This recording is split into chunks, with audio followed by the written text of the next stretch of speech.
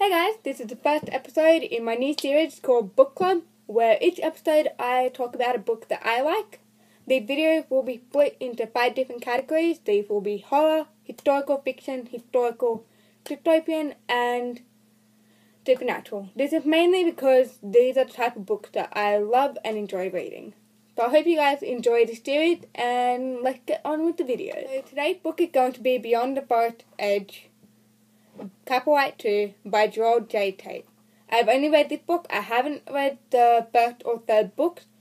Uh, this is the one that I actually found at a book fair with my dad. We go to these all the time. And I always, always read them and come home with heaps of books. So I love this book. It is definitely, definitely a horror book. So if you're faint hearted to stuff like horror, this may not be the book for you. The reason I love this book is because of Gerald the author. He does such a great job with changing between the point of views between all the characters without it seeming overdone or unnecessary. This adds so many different layers to the character and the story as well. Um, and it also explains how they all intertwined with each other and what role they all have to play within the book. Fun fact, did you actually know that there's a town called Cappawhite in Ireland? This book was actually based off a real place in this world. The book is 254 pages long and contains 23 chapters. The book gives a lot to the reader to imagine while not leaving too many questions and confusion for the readers at the same time.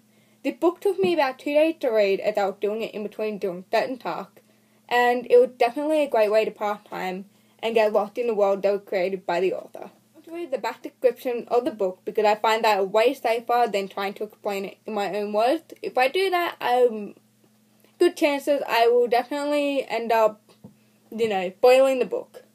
As you can see, I've got my copy of the book right here, and I'm going to read from the back of it. So, enjoy. A series of grisly murders in the quiet Irish village of Cappawhite eerily harken back to a fate of similar violent killings that happened 35 years ago.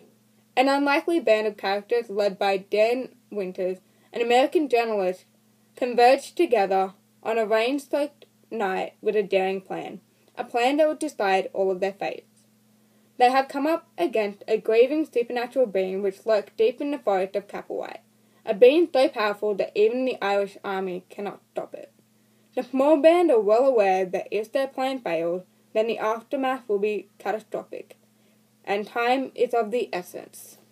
I really do love this book, and it is so well read, written, and it does keep the reader's attention. I found myself having trouble putting the book down at certain points while reading it because I was so caught up in the writing and the world itself. The writing makes you feel as though you are there with the characters in a way, and that you are dealing with what they are dealing with. I highly, highly, highly recommend to anyone that seems interested by this video on this book to definitely buy it. It's a great horror book. The link it down below in the description so you can buy it and read it at home. I again highly, highly rate it, especially for horror book fanatics like me. I hope you guys have a great day and I hope you enjoyed this video. I am so excited for this new series.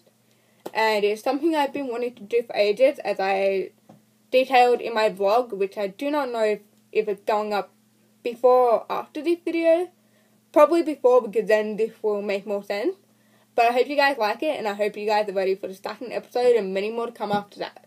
Just remember that the series will be split into different categories, so I have them all in one playlist, but then I will later on split them into the five categories that I stated before. Fiction, well, horror. I'm getting myself jumbled. So there's horror, um, historical fiction, fiction, dystopian, and supernatural. Again, I hope you're lovely. Have a great day, and I hope you enjoyed the video.